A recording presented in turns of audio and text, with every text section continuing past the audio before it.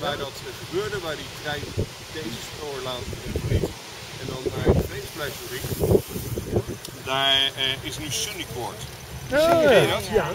Ja, dat is eh, nog steeds herkenbaar als de route van de Ja, ja, ja.